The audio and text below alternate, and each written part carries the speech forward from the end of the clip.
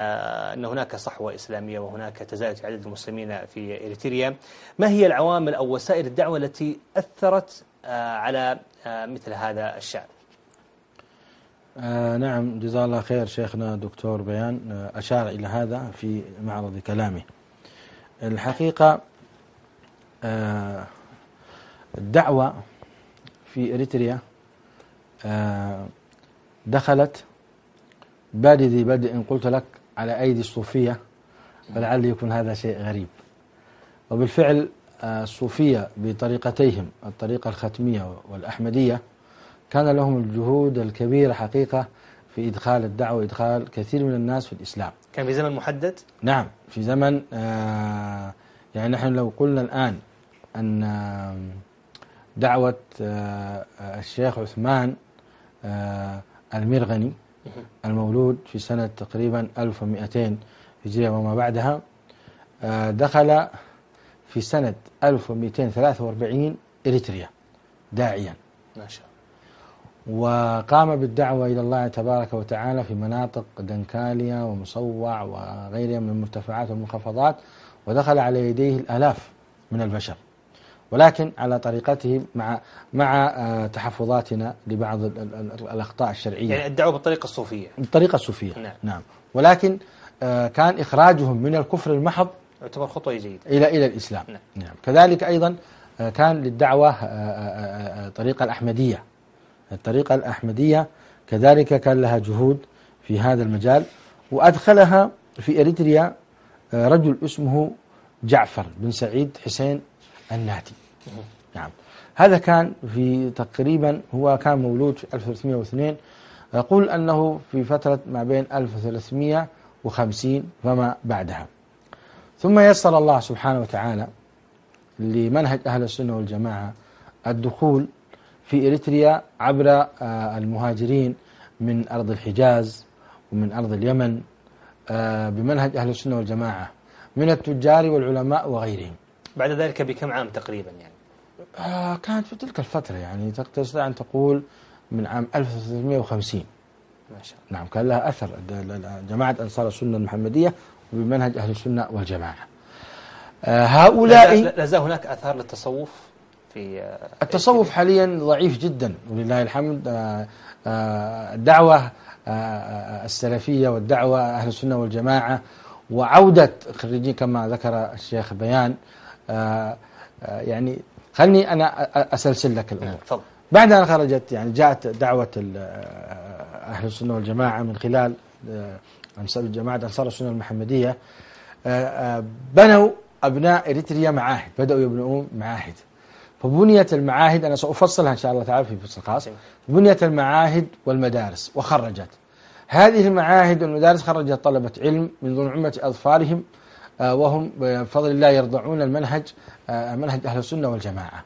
ثم ازداد هذا نور على نور حينما جاءوا ودخلوا في خاصة في جامعات المملكة العربية السعودية وجامعات دول الخليج فأخذوا حقيقة المعتقد السليم. وكانوا قديما بعض مشايخنا آه، قد درسوا في في في جامعات أخرى أيضا. في الجملة حقيقة طيبة إلا أن كانوا يعتقدون بمعتقد الأشاعرة. كان هذا موجود.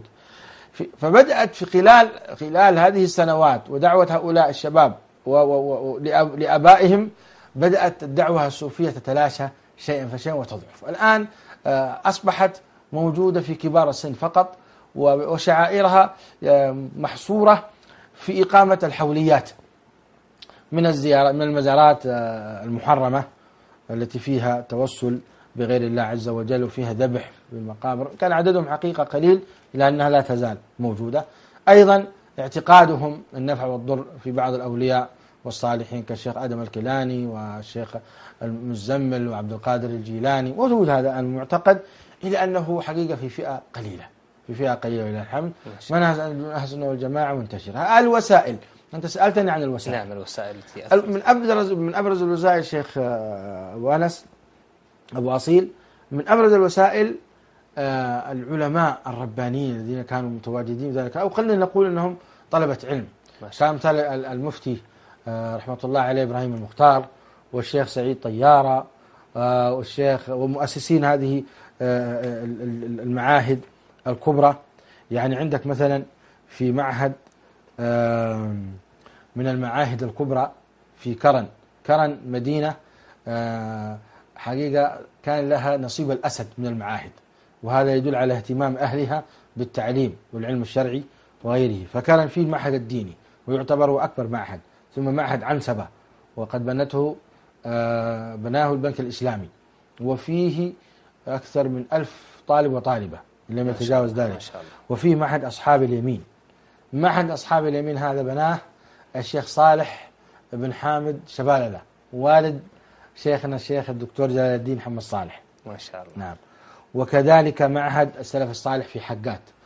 وعندك أيضا في أسمرة المعهد الديني والمدرسة المتألقة مدرسة الضياء وفيها أكثر من ألفي طالب وطالبة حاليا. ما شاء الله ما شاء نعم الله. فيها أكثر من ألفي طالب وطالبة. مدرسة الضياء من أفضل المدارس على الإطلاق في آه، في آه، في إريتريا وفي مدينة أسمرة بالذات. هناك أيضا مدرسة الجالية كانت الجالية العربية ويبدو أنها في الآونة الأخيرة آه، أغلقت. هناك أيضا معاهد أغلقت كمعهد أغردات الذي أسسه الشيخ عبد الله الزوز ومعهد أيضا آه، منصورة والذي أسسه الشيخ محمد إبراهيم شيدلي.